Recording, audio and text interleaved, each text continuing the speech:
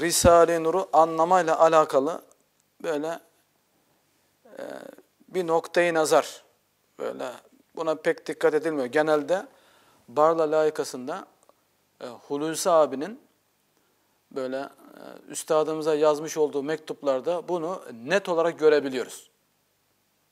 Böyle e, okumuş olduğu, eline geçen risaleleri üstada izah ediyor.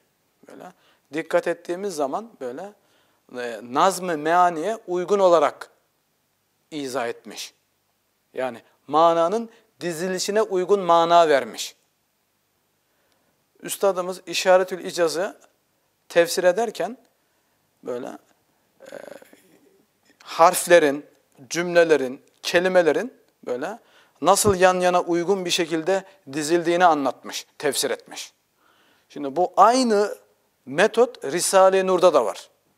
Mesela üstadımız e, Barla layıkası sayfa 281'de e, Hüsrev abiye Risalelerin zannediyoruz ki Risalelerin hatta hakikisini sen buldun veyahut yakınlaştın diyor.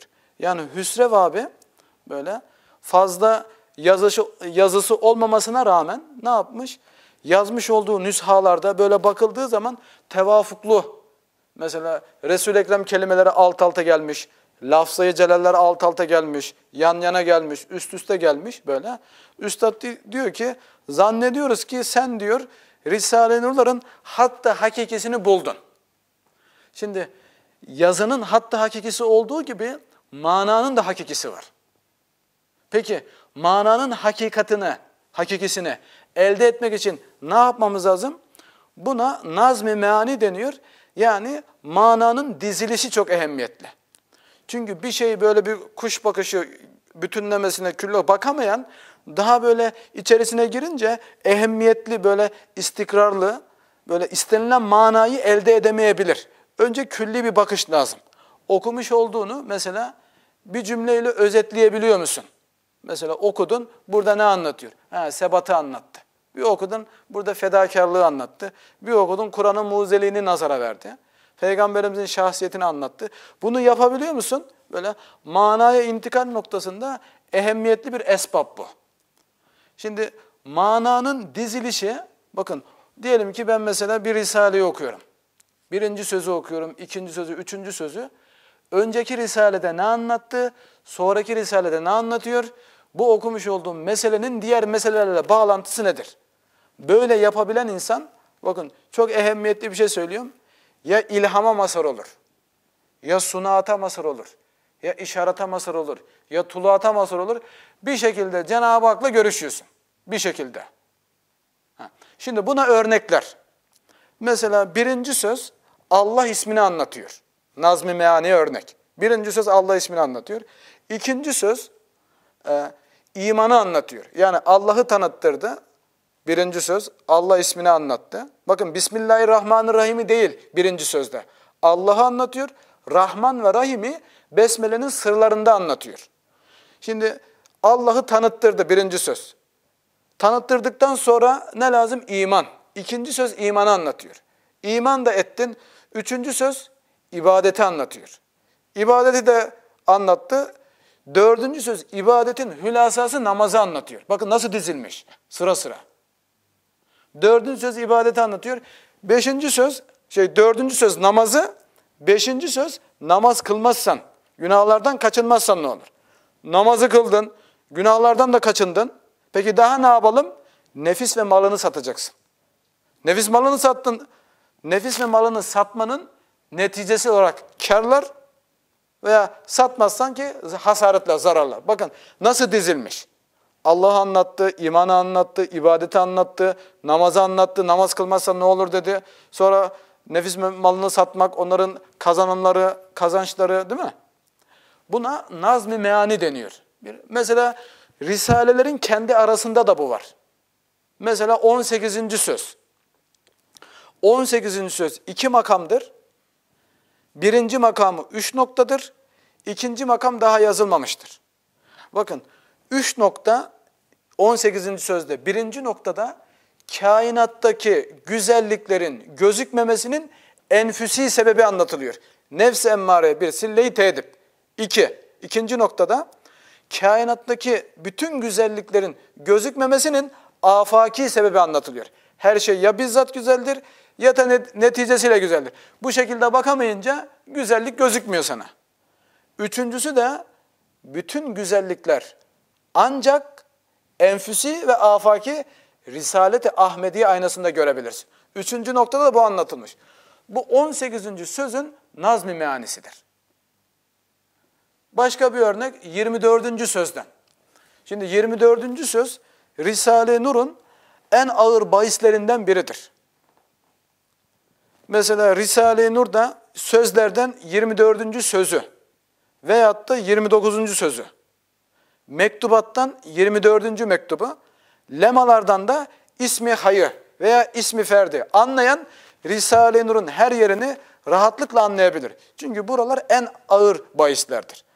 24. sözde böyle havasa bildirilen ismi azamı orada anlatıyor. 24. sözde 5 tane dal vardır. Üstadımız diyor ki dördüncü dala dikkat et, beşinci dala çık meyveleri kopar diyor. Şimdi nazm-ı meaniyi bilmeyen kimse bu ifadeyi anlayamaz. Yani nasıl meyveyi koparım, niye dörde bakayım, niye beşteki meyve nedir? Nazm-ı meaniyi bilmeyen adam bu cümleyi anlamaz. İşte Risale-i Nur'daki yani Risale-i Nur'dan alınan marifeti ilahiye lezzeti hiçbir şeyden alınmaz. Eğer bu nazm-ı meaniyi bilebilirsen o cümleyi anlarsın. Bak şimdi söyleyeyim ben. Şimdi beş tane dal var ya 24. sözde. Birinci dal Esma-i Hüsna'yı külli görmekten bahsediyor.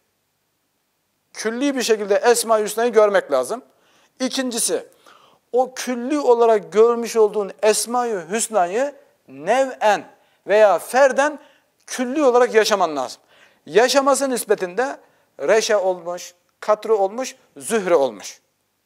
Üçüncü dalda da, şimdi birinci dalda külli gördün, ikinci dalda külli gördüğünü külli yaşadın, üçüncü dalda da bu görüp yaşaman nispetinde Muhammed Aleyhisselatü Vesselam'ın sözlerini anlıyorsun.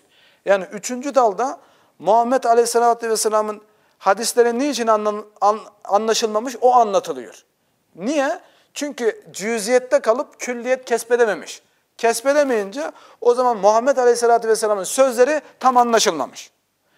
Dördüncü dalda ise kainatı bir saraya benzetiyor ve içindeki cemaat, melaike, hayvanat, insanların vazifelerini anlatıyor. Şimdi dördüncü dalda kainatı bir saraya benzetiyor ya, Muhammed Aleyhisselatü Vesselam'ın üçüncü dalda sözlerini anlayan kimse, kainatın bir saray gibi olduğunu, içindeki mahlukatın niçin yaratıldığını, ne vazife göreceğini ve insanın tanımı yapılıyor, insanın vazifeleri anlatılıyor. Bu sefer insan ne yapacak? Dördüncü dalda bu anlatılmış. Beşinci dalda ise, şimdi dördüncü dala dikkat et. Beşinci dalda meyveleri kopar dedi ya. Heh. Dördüncü dalda kainat ve içindeki mahlukatın vazifeleri ve insanın vazifeleri. Konumu sen kendini tanımladın, bu dünyaya niçin geldin? Ne yapman gerekiyor? Vazifelerin nelerdir? Öğrendin dördüncü dalda. Beşinci dalda o zaman senin için yapılmış meyveler var. Nedir o? Muhabbet meyvesi. Birinci meyve. İkinci meyve, ubudiyet meyvesi. Üçüncü meyve, sünnet-i seniye meyvesi. İlahir, o zaman ne yapıyorsun? Bu meyveleri koparabilirsin. Şimdi kendisini tanımlamayı bilmeyen, niçin yaratılmış? Bu dünyadaki vazifeleri nelerdir? Allah ile nasıl münasebet kuracak? Bunları bilmeyen adam, beşinci daldaki o beş tane meyveden koparamaz. Kopardığını zannedersin. Veya da derecesine göre koparmış olur. Şimdi bunu niye anlattık? Buna nazm-ı meani deniyor. Mananın dizilişi. Şimdi bu şekilde okumuş olduğumuz yere öncekiyle ve sonraki yerle karşılaştırdığımız zaman tamam mı? O zaman üstadımız nasıl ki risalelerin hatta hakikisine hüsrev yaklaşmış diyor. Heh, mananın da hatta hakikisine o bu şekilde bakan insan yaklaşır yani. Cenab-ı Hak bu şekilde bakmayı bize nasip etsin.